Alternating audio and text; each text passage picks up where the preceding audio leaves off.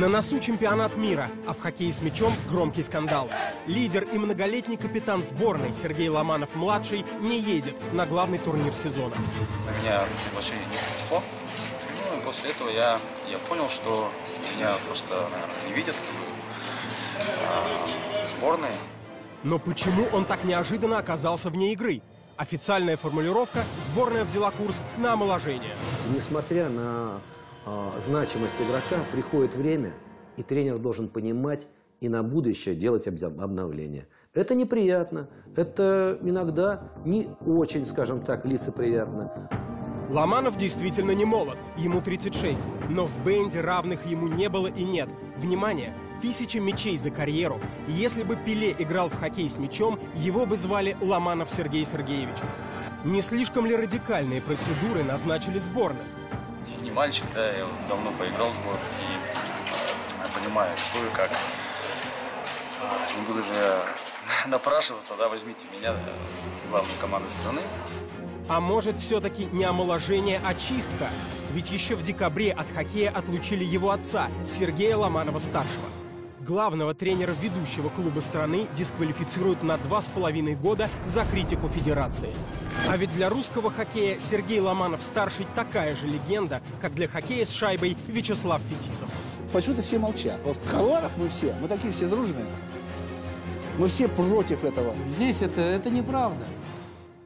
Это, это, не только, это не только неправда, это ложь.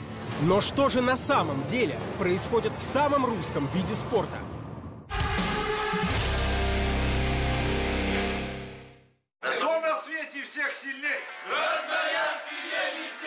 Для этих болельщиков шарф не просто роза с эмблемой клуба. Это залог выживания на стадионе. Как и валенки в клубных цветах. Спортбар специально для любителей русского хоккея заполнен до и после, но только не во время игры. Тот самый случай, когда все на матч. В Красноярске болеть за Енисей и за Ломанова ходят семьями. Минус 30 и даже минус 40. По боку мороз. Слово «бенди» здесь не любят. Только русский хоккей. А вот я подготовилась. В этом году купила себе очень теплую обувь, ватные штаны, две кофты под низом. А я уже как-то привык, сороковой сезон хожу. Сороковой? Да. 76 -го года. Сегодня тепло. Замерзай. Там чай. Чай? Да, да, конечно, горячий чай. Этот чай пьют из фляжек, из рюмок, из пластиковых стаканчиков. По старой, еще советской традиции принято выпивать по 50 граммов крепкого чая после каждого забитого гола. Красноярский «Енисей» играет в неполном составе. Не хватает тренера. Сергей Ломанов, скажем так, отлучен от команды, но все равно неподалеку. Вот за этой дверью с табличкой «Высокое напряжение». На противника смотрится высока. Да почему? Это не трудно, у нас же телефоны есть. Тем более, что вот, э, ну, сверху-то лучше видно. Енисей забивает первым, потом еще раз. Так что высокое напряжение в бывшей электрощитовой только когда ошибается арбитр. Или в поле зрения попадает тренер команды противника. На хандай ходит. Но меня бы уже на 5 лет арестовали. Материть судьи вот в Бровке. Хотя за что конкретно его наказали, неизвестно. Официальная формулировка загадочная. За многократные, грубые и циничные нарушения, носящие явный умысел на неисполнение регламента всероссийских соревнований. А глава Федерации хоккея с мячом Борис Скрынник на такие вопросы отвечать сходу отказывается и явно нервничает. Да почему вдруг у вас такой интерес? Вот Всех не вызывают, у вас вызывают. Кто- Кто-то проплатил вам деньги, что ли, за то, что вы хотите снимать? Президент усмотрел спортивный заговор там, где только спортивный интерес, который он так и не удовлетворил. Конфликта нет. Есть решение единогласное исполкома. Это для вас, я вам просто говорю. И мы даже на эту тему возвращаться к этой теме не хотим. За опального тренера заступились и губернатор Красноярского края, и любитель бенди Сергей Шойгу, и болельщики по всей стране. От Волги до Енисея. Все-таки Сергей Ломанов-старший – живая легенда русского хоккея. В 70-е его имя знал каждый мальчишка. Пять раз чемпион мира, 10 СССР. В Красноярске его знают лучше, чем, например, губернатора. И тот это прекрасно понимает. Это человек, который столько сделал для хоккея с мячом, что ну, любая федерация должна ну, свое развитие э, связывать с поддержкой именно таких людей, преданных спорту, преданных хоккею, э, людей, которых любят. Но федерация сдавать назад не собирается. Когда оказалось, что Енисей и без Ломанова выглядят уверенно, решили надавить на руководство клуба, чтобы от дисквалифицированного тренера избавились окончательно. Если я вдруг пошел на поводу федерации, получилось бы, что я нарушил трудовое законодательство. Поэтому А федерация что требует вообще? Ну, федерация требовала уволить Сергея Ивановича Ломанова. Глава федерации Борис Скрынник играл в бенде примерно в одно время с Ломановым, в 70-е.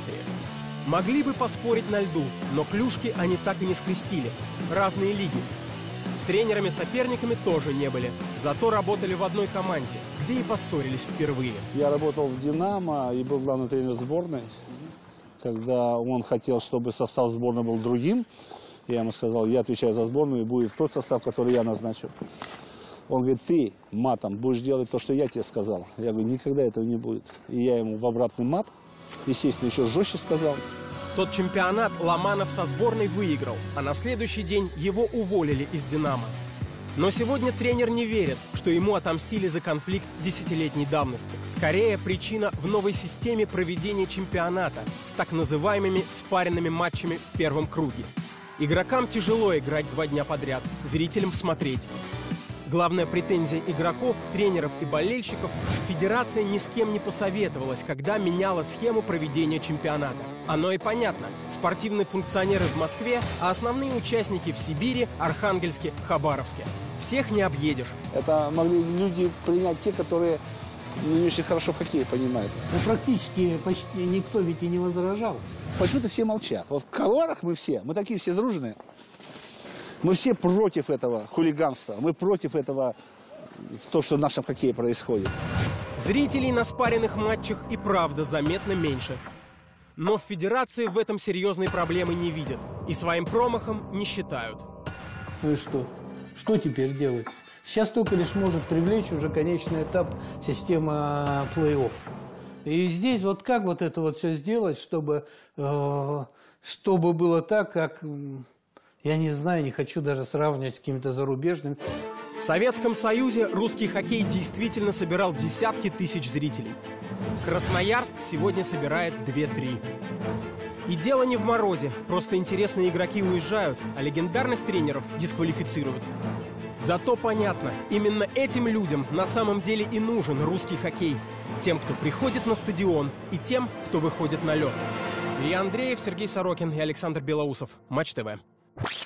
Накануне нашего эфира появились сообщения, что Министерство спорта пытается погасить конфликт между Ломановым-старшим и президентом Федерации Скрынником. Переговоры засекречены, но в кулуарах уже зашептались о худом мире. Предсказать, как сборная России выступит на чемпионате, невозможно. Извечные соперники, шведы, будут играть в сильнейшем составе.